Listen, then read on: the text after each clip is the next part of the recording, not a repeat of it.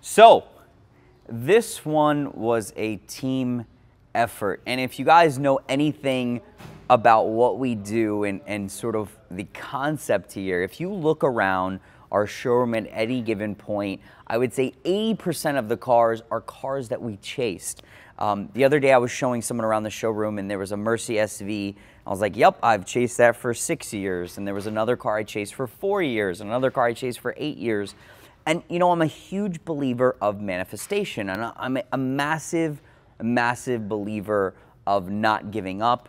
Um, we actually have the motto, never ever give up on the side of the building. And uh, if you guys know a little bit about my story and where I've come from, I do not believe in giving up. So, uh, this is one of those stories. Uh, we actually had uh, an older YouTube video about this. Actually, we offered a reward, and there's going to be four, maybe five lucky people uh, that are going to be get a reward and are responsible for helping us get this car. And we have found, and it is sitting in Miami, uh, probably one of the best AMG hammers in the world, the Michele Alboreto uh, AMG hammer. So, uh, such a cool car, such a special car, and I'll give you a little background. Uh, you can watch the previous video, but essentially there's probably today, let's call it 30, 40 AMG hammers that exist in the world, and essentially what it was um, is it really was the car that put AMG on the map you think about historically, you know, tuning companies and, you know, before AMG was purchased by Mercedes, AMG was taking these massive V8 engines. Uh, they were putting on, you know, uh, you know, four cam, you know, four cam heads, you know, two cams on each side, uh, you know, 32 valve, and these cars were pumping out almost 400 horsepower, and they were doing like 200 miles per hour. So these cars, these Mercedes cars that AMG were building, were actually faster than Lamborghinis, faster than Ferraris, um, and these cars were almost like $200,000 in the 1980s.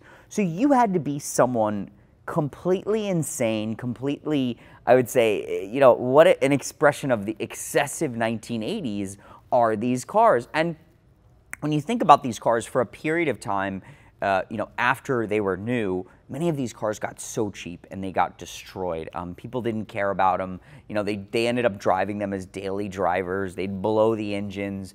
You know, uh, they were just destroyed. And finding them even today is super rare. We had been lucky enough. Um, we'd actually discovered two of the original prototypes that came into the U.S. If you guys remember the black on blue car, uh, now it's one of the in the biggest collections in the US, and the original silver prototype that we had learned that Hartmut um, from Renntech, who was one of the original uh, technicians for AMG North America, he actually, that was the actual silver car, the prototype uh, that broke, I think it was 200 miles per hour. So really, really important cars. We had found those cars, but we had been searching, I think for three or four years now.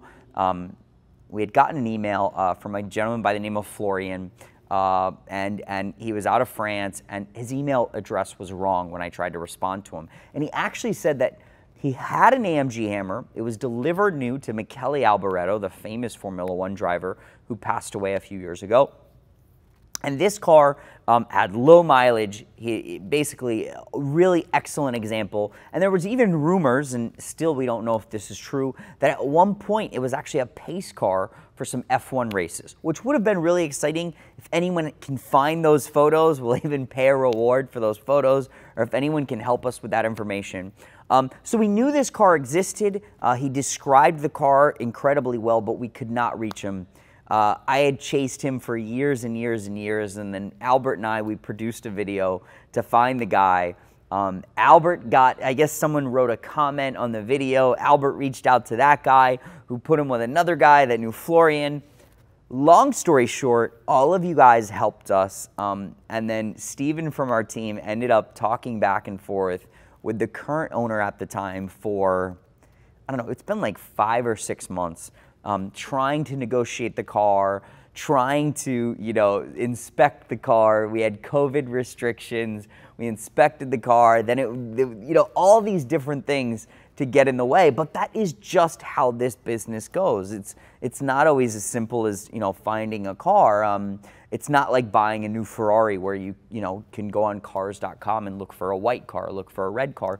You have to plant the seeds you have to almost be a private investigator. So really, really proud of our team and, and, and all of our followers that helped us. And, and we finally, about a month ago, we finally were able to buy the car, pay for the car. And at the time, I was so excited that I said, oh my God, we got to just fly the car here. Um, and, and it was sort of weird that one of my colleagues in Europe reached out to me sort of the same week saying that he had found another AMG original car. And if you know about these original AMG cars, you know that people didn't keep their paperwork. I mean, these cars were owned by celebrities, uh, you know, rock stars, playboys, not the traditional guy keeping his records together in a binder or anything like that. You know, I could tell you a ton of stories, but if you look at the name, uh, you know, the former owner of a lot of these cars, they were some pretty eccentric people. Um, one of them was Mike Tyson at one point. So I could go down a list of people, ball players, um, some even some early hip hop artists.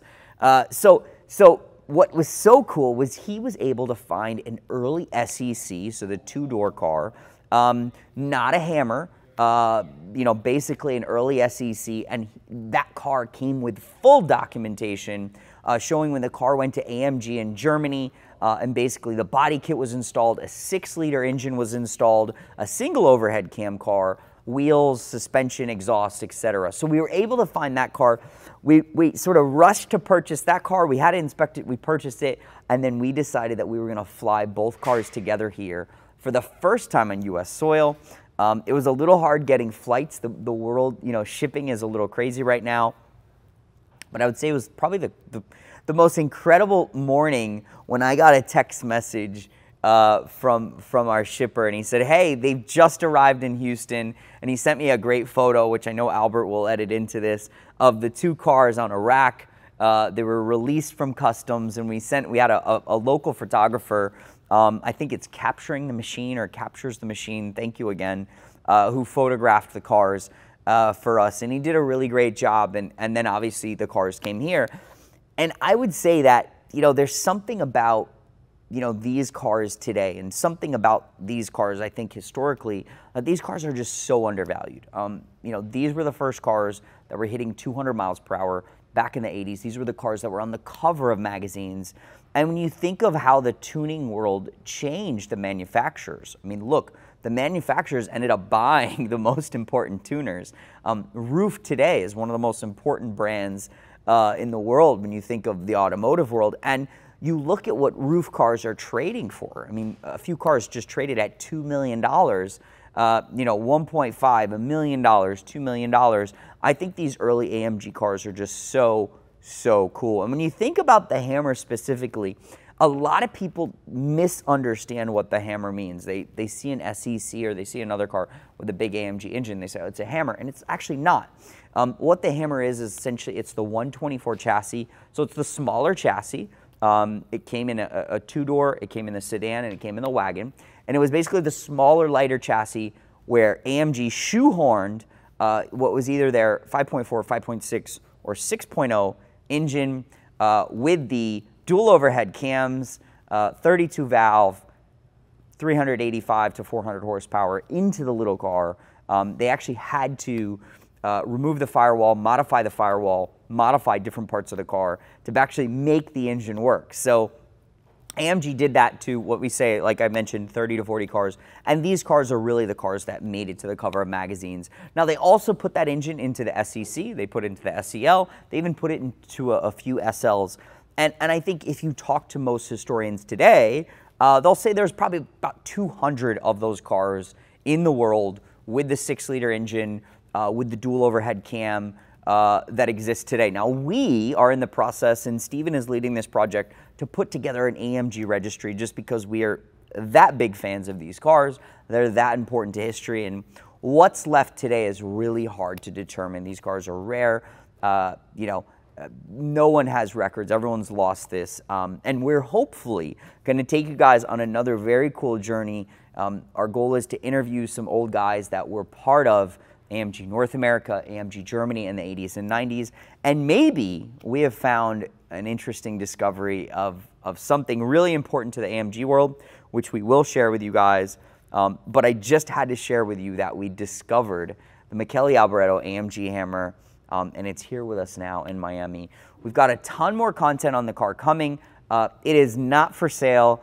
Uh, I'm sorry. Uh, we, we've determined uh, that it is going to go to a very, very important collector, a young collector, and and he's a dear, dear friend, and he's building a great AMG collection. So I've just we're going to figure it out. Um, the car needs to go to him. It needs to stay locally. Uh, we need to be able to share it with you guys, show it.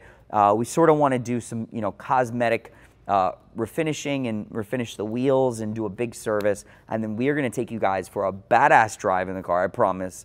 There will be uh, some smoky tires uh, in effect uh, for that video. Um, but I had to share this with you guys. Um, thank you guys again. I want to stress do not give up in whatever you're searching for, uh, whether it may be a career, whether it may be uh, you know a car, whatever it is, don't give up um, and, and manifest it because I do believe it works. So plant the seed and believe it'll happen.